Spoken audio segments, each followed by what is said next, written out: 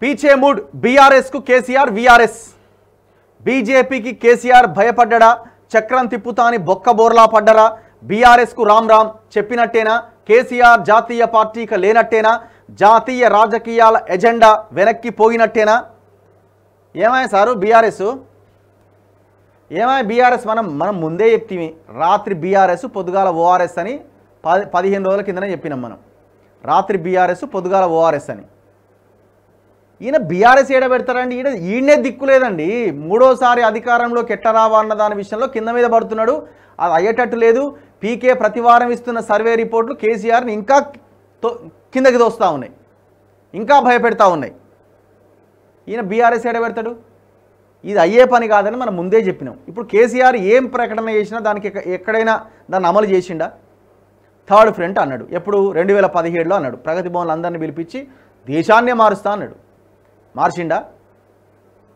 ఇప్పుడే కాదు అధికారంలోకి వచ్చినప్పుడే కాదు అధికారంలోకి రాకముందు కూడా ఎంత చెప్పిండు? రెండు వేల తొమ్మిది ఎలక్షన్లో చక్కగా పోయి బీజేపీ ర్యాలీలో పాల్గొన్నాడు. వాళ్ళు అధికారంలోకి రాలే అప్పుడు. అయిపోయింది ముఖం మార్చిండు. ఎన్ని రకాలుగా ప్లేట్ పిరాయించిండు? వరుసగా. టీడీపీతో కలిసిండు కాంగ్రెస్తో కలిసిండు కమ్యూనిస్టులతో కలిసిండు. తన అవసరం కోసం కేసీఆర్ అందితే జుట్టు లేకపోతే కాళ్ళు. ఇప్పుడు బీఆర్ఎస్ అని వాళ్ళని ఏదో భయపెడదాం అనుకున్నాను వాళ్ళు ఎందుకు భయపడతారండి? నీకంటే తోపులాళ్ళు.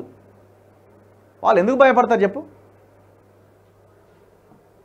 నువ్వు నూట పంతొమ్మిది నియోజకవర్గాల్లో నీదొక ఇంత ఇంత పార్టీ. వాళ్ళు ఎందుకు భయపడతారు? దేశ రాజకీయాల్లో చక్రం తిప్పుతా అంటూ పరుగులు పెట్టారు. జాతీయ ప్రాంతీయ పార్టీల నాయకుల చుట్టూ ప్రదక్షిణ చేశారు. బీజేపీతో కయ్యానికి కాలు దువ్వి బొక్కబోర్లా పడ్డారు. బీఆర్ఎస్తో బీజేపీని దెబ్బ కొట్టాలి అనుకున్న కేసీఆర్ వ్యూహం కాస్త బెడిసి కొట్టింది.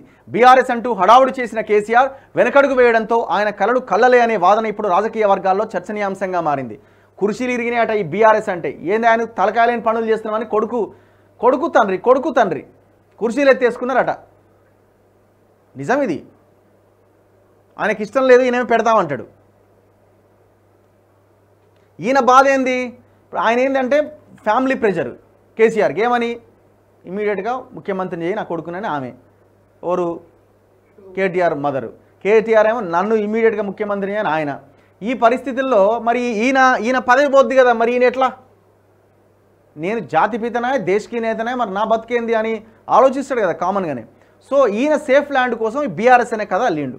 కానీ అది వర్కౌట్ అవుతలేదు ఎట్లా అవుతుంది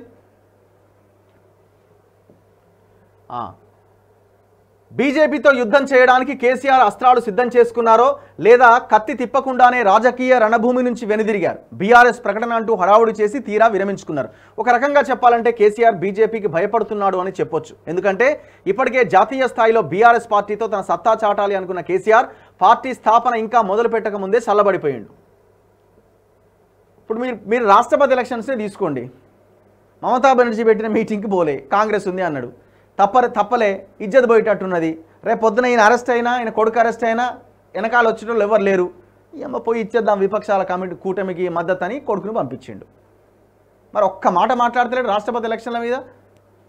నువ్వు అంత దేశకి నేతావు అయితే నువ్వు అంత జాతీయ పార్టీ పెట్టడం అయితే మరి నీ వెంట రావాలి కదా మిగతా ప్రాంతీయ పార్టీ ఎందుకు రాలేదు. నువ్వన్న క్యాండిడేట్ని పెట్టాలి కదా ఇదంతా ఏమో కానీ టీఆర్ఎస్ ఎమ్మెల్యేలు అయితే ఆగమాగం అవుతున్నారు. ఏంద్రా నాయన మన బతుకు ఏమవుతుందిరా ఇన్ని పోలే వందల కోట్లు సంపాదించి పెడితిమి. అక్రమంగా జన జనం రక్తం తాగితిమి. ఎట్లా మన బతుకులని వాళ్ళు చచ్చిపోతున్నారు.